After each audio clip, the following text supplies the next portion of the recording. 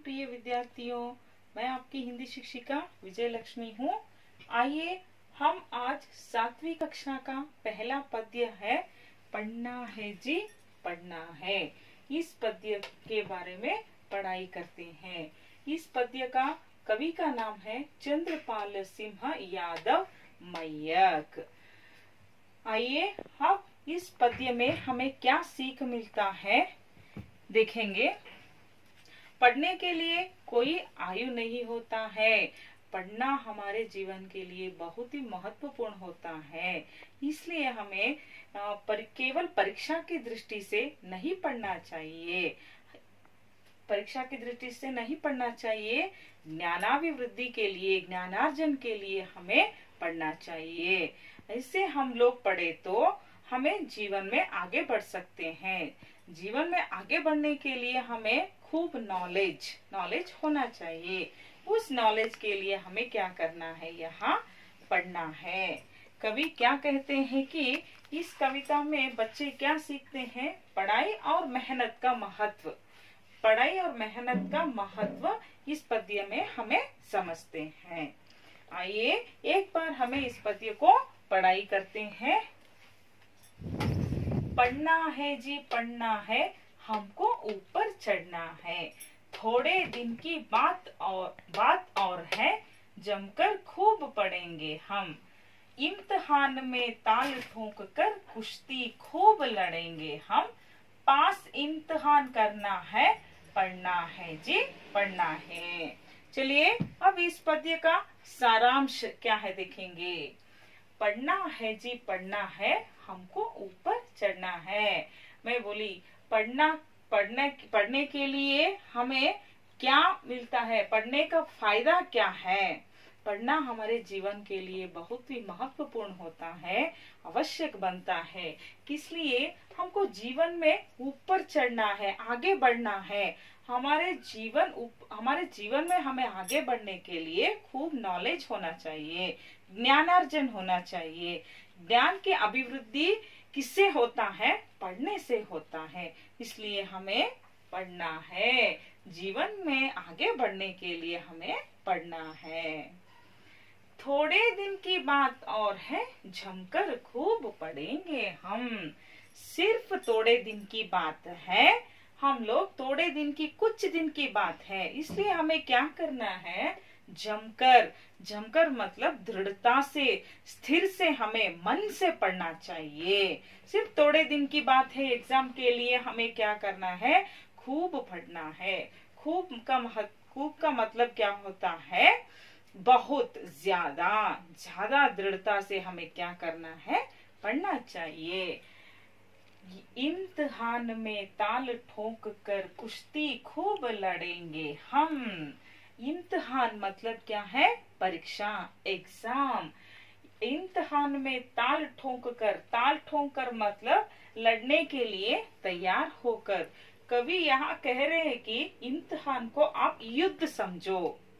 युद्ध में हमें कैसे लड़ते हैं, वैसे ही हमें एग्ज़ाम में भी लड़ना चाहिए।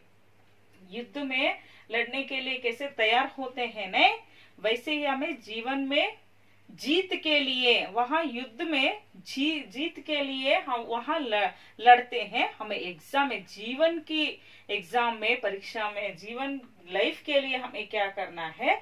लड़ना है फाइट करना है। ऐसे हमें कवि यहाँ कह रहे हैं कि इम्तहान में आप तैयार होकर, लड़ने के लिए तैयार होकर आप क्या करना है? उसके साथ लड़ना चाहिए। अच्छा से आप लोग एग्ज़ाम लिखना चाहिए।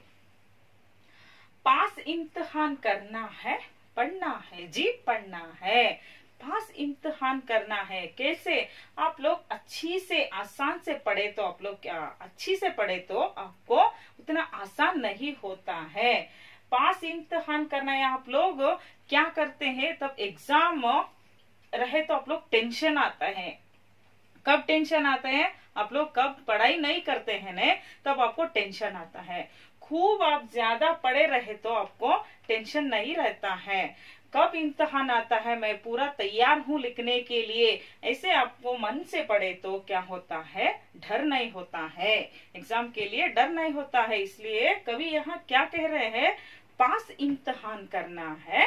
पढ़ना है जी, पढ़ना है। नेक्स्ट फिर गर्मी की छुट्टी होगी।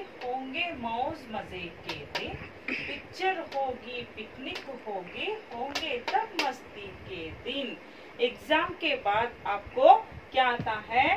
गर्मी की छुट्टी आते हैं। गर्मी की छुट्टी मतलब क्या होता है? समर हॉलीडेज समर हॉलीडेज में आप लोग क्या करते हैं?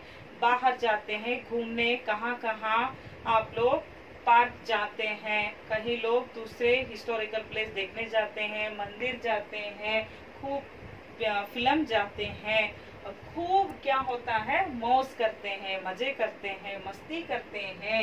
एग्ज़ाम के बाद आपको ये दिन अच्छा दिन आता है, आपको मज़ा करने के लिए। पिक्चर भी जाते हैं, पिकनिक भी जाते हैं और होंगे तब मस्ती के दिन आते हैं। इसलिए कभी यहाँ कह रहे हैं कि फिर गर्मी के छुट्टी आते हैं ना, तब आप लोग खूब ज़्यादा मौज करते हैं, मस्ती करते हैं और पिक्चर जाते हैं पिकनिक जाते हैं, मंदिर जाते हैं। कहीं भी आप लोग क्या करते हैं खूब मज़े करते हैं। मेहनत से क्या डरना है? पढ़ना है जी, पढ़ना है। मेहनत, इसका मतलब क्या होता है? परिश्रम। परिश्रम ज़्यादा हमें किए तो हमें डर नहीं होता है। परिश्रम से हमें क्या करना है? काम करना है, पढ़ाई करना है। मेहनत का फल हमेशा मीठा होता है। यह बात आपको समझ में आना होगा। मेहनत से हमें नहीं डरना है। पढ़ना है जी, पढ़ना है। ठीक है? और नेक्स्ट पापा मम्मी से लेते हैं, फिर तो हमको खूब इनाम। मेहनत से मेहनत करने वालों की तो सदा मदद करते भगवान। जीवन पथ पर चढ़ना है, पढ़ना है जी, पढ़ना है। फिर गर्मी के छुट्टी आते हैं, मज़े करते हैं, मौज करते हैं। आप क्या मेहनत करते हैं नी? वहाँ फल मीठा होते हैं यहाँ। कैसे? पापा मम्मी को आप लोग अच्छे अंक लिए तो आपके पापा मम्मी ने क्या देते हैं? इनाम देते हैं। इनाम मतलब गिफ्ट, पुरस्कार। आपके लिए क्या देते हैं? पुरस्कार। गिफ्ट देते हैं। खूब। आप क्या क्या पूछते हैं उसे? वो सब आपके लिए तैयार रहता है। यही है मेहनत का फल, मीठा होता है। मैं बोली, नहीं, मेहनत करने वालों की तो सदा करता है मदद भगवान। कैसे आप लोग मेहनत कौन मेहनत करके कौन काम करता है, मन से कौन काम करता है, उसके साथ कभी भी भगवान साथ देता है। मदद मतलब क्या है? हेल्प, सहाय। यहाँ आप मेहनत से काम किए तो भगवान आपके साथ सदा रहता है, आपका मदद करता है। इसलिए हमें परिश्रम से नहीं डरना है, मेहनत से नहीं डरना है। मेहनत से हमें काम करना चाहिए। हाँ मेहनत से काम करे तो भगवान भी हमें साथ देते हैं। पापा मम्मी भी हमारे भगवान जैसे भगवान के रूप है। वो भी खुश होते हैं। आप लोग अच्छे मार्क्स लिए तो वो भी आ, खुश होकर आपको खूब इनाम देते हैं। जीवन पथ पर चढ़ना है। जीवन पथ आपका लाइफ सीधा रास्ते में चलना चाहिए। पथ मतलब मार्ग। रास्ता आपका रास्ता। कैसे रहना है? जीवन का रास्ता सीधा रास्ता रहना है। गलत नहीं रहना है। तो इसलिए हमें कैसे रास्ता हमें जीवन पथ पर चढ़ना है? जीवन में हमें आगे बढ़ने के लिए जीवन में अच्छा मार्ग लेने के लिए हमें क्या करना है? खूब नॉलेज हमें आ, ज़रूरत होता है, खूब नॉलेज के लिए ज़रूरत होता है। ज्ञानार्जन होना चाहिए। वैसे ज्ञानार्जन हमें मिलने के लिए हमें क्या करना है? पढ़ना है। जी, पढ़ना है।